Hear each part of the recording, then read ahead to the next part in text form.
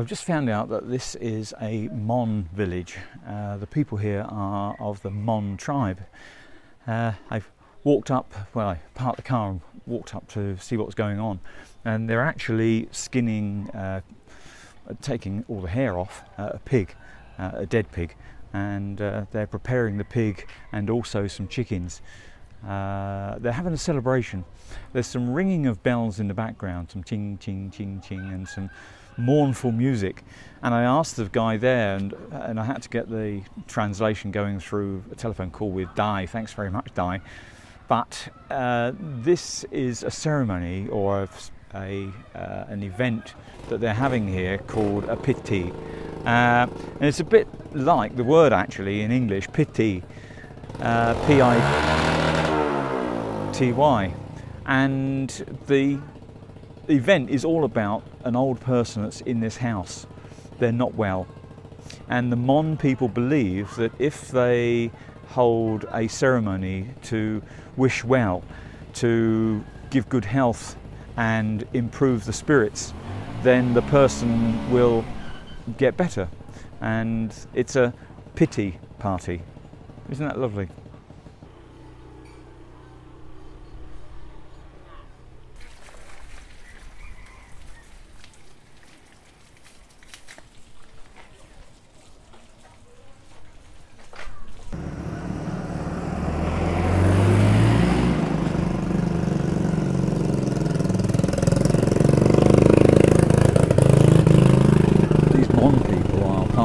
Uh, the Mon tribe, and I, I went recently to uh, the uh, tribal museum area over the other side of Chiang Mai, and I'll leave a link above to the uh, buildings that you could see there and a little bit of the story about some of the uh, hill tribes, and uh, you'll see there a bit of more about the Mon people.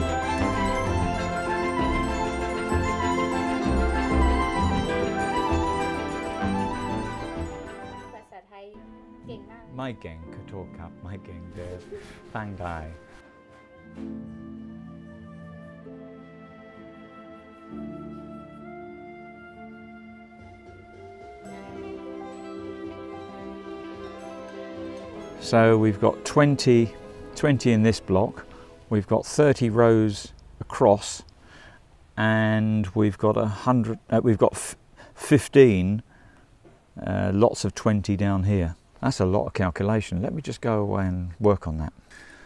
Well, that was pretty painful. So there's 20 by 30 by 15. There's 9,000 plants here. And that's just in this little square here. There's more over there. And they're cultivating even more ground over there. So um, yeah, just here, 9,000 plants. That's a lot of strawberries. And when you think, uh, you know, when you go out into these places down into the valley, you see uh, farms just like this. uh, with thousands upon thousands of strawberry plants. Just think how many thousands there are there. No wonder we've got so many strawberries growing and being sold here in the festival period next month. enjoying the coffee at this coffee shop um, in this in this ambience that we've got here. Very pleasant actually. It's very nice. I had to take my top off because um, it's so nice in the sun. You warm up and it's too hot. I certainly needed my jacket this morning. Anyway, I'm going to press on and show you some of the other sites just along the Samoeng Road.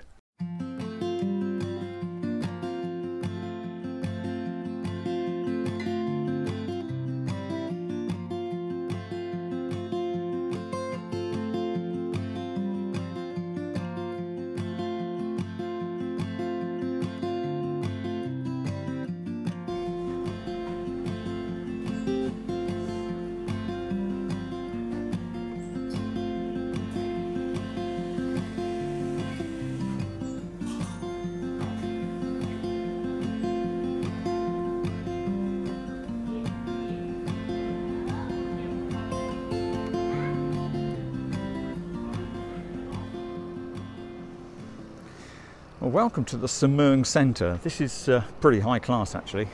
This is uh, a really five star place. This is the, I think it's the third time I've been here and I've always gone away thinking, oh, disappointing because I wanted a kanom, I wanted a coffee and I wasn't happy at the end of the day. But I'm hoping today to give them another chance to see as to whether today's a little bit better result of the coffee.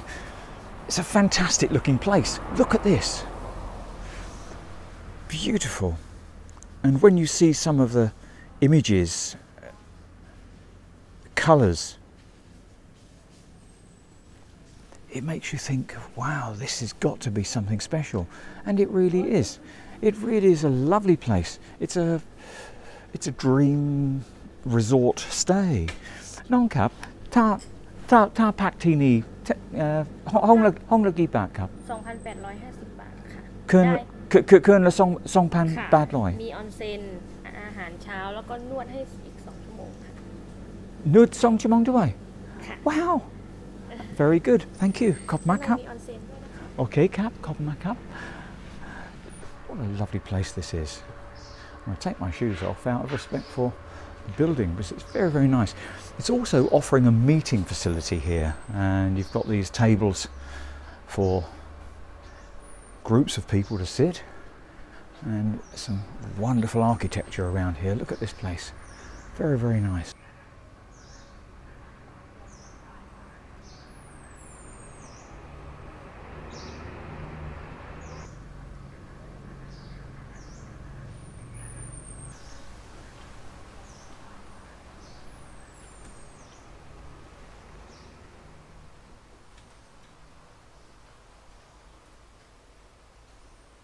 Well, a new word for me today, another one. I'm learning all the time.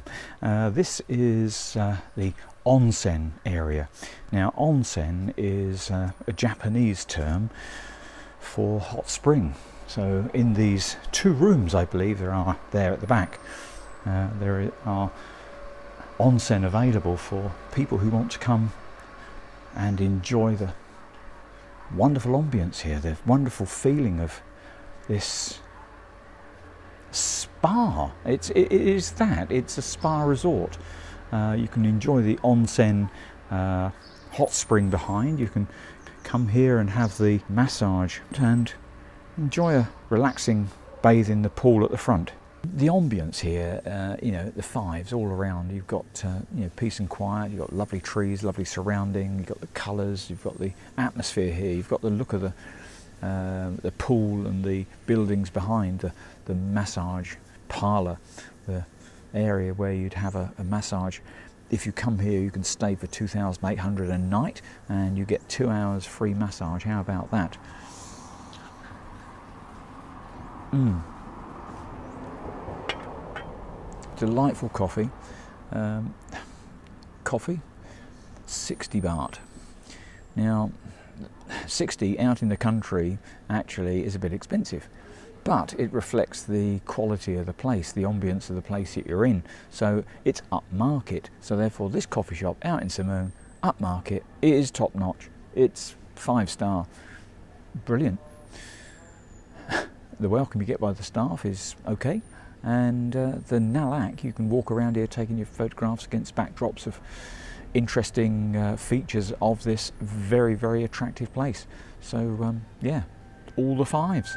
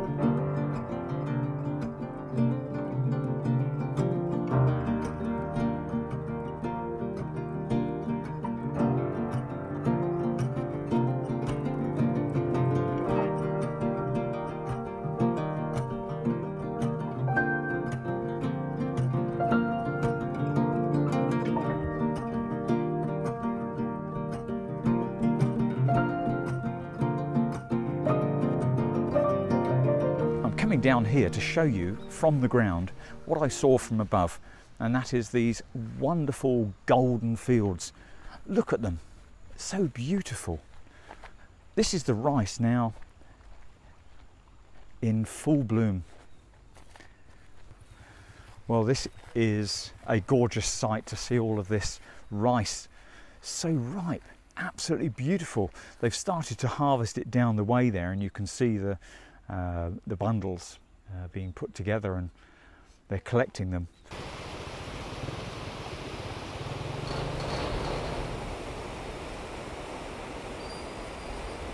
I've shown you the valley, I've shown you the mountains. I've shown you a little bit of a five-star coffee uh, shop, the onsen and the pool there and the massage centre uh, at the Samoeng Centre. I, have shown you so much interesting stuff out here in Samoeng, yet I've literally just touched the surface. If you if you come to Samoeng uh, uh, and you drive along the road, you find so many fascinating little things to find along the road that you might not have time to actually enjoy Samoeng itself. If you come to actually into Samoeng, there are many things in this valley of interest. And I'll be doing another video about Samoeng because I don't want to just whiz out from A to B and then B to A. I don't want to just come out to Samoeng and show you the beauty of having got here. I actually want to show you the beauty of getting here and when you're here, what it's really like.